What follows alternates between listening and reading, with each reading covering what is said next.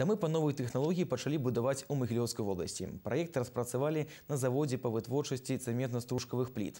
Гэта прадпрыемства з'явілася ў крышаве ўсяго год таму. Дзякуючы указу аб развіцці паўднёва-ўсходніх раёнаў Магілёўскай вобласці, інвестары атрымалі льготныя мовы для вядзення бізнесу. Па падліках спецыялістаў, жыллё з айчынных пліт абыдзецца значна танней, а срокі будаўніцтва значна паскорацца. Собственный дом – это собственный дом, там все-таки можно и что-то посадить, и собрать и ягодку.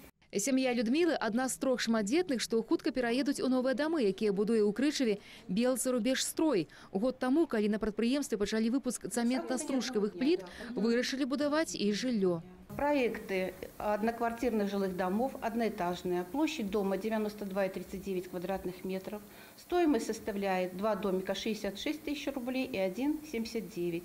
Ну, там, где 66, он без отделочных работ, а где 79 – частичное возмещение проект э, отделочных работ. Построен водопровод местной канализации и планируется завершить строительство газопровода.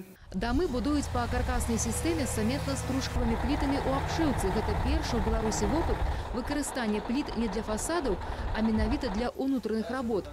Дарэчы, у супраектантах домікаў былі будучыя жыхары. Яны прымалі рашэнне, напрыклад, у які колер пафарбаваць домік. Дом у нас на 4 комнаты.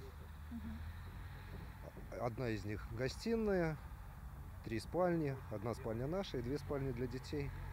А, ну, кухня с выходом вот будет во двор на террасу. Планируем, что к Новому году мы уже будем здесь жить. Тэхналогія будаўніцтва гаворыць у праектным управленні не новая. Каркаснае домабудаванне выкарыстоўваюць ва ўсім свеце. Унікальна тое, што для абшыўкі прымяняецца экалагічны матэрыял. Выделений каких-то от изменения температур э, не будет. Это одна история медали, а вторая история медали, что дома, э, эти, сам материал ЦСП, его можно в таком виде сразу окрашивать, обрабатывать.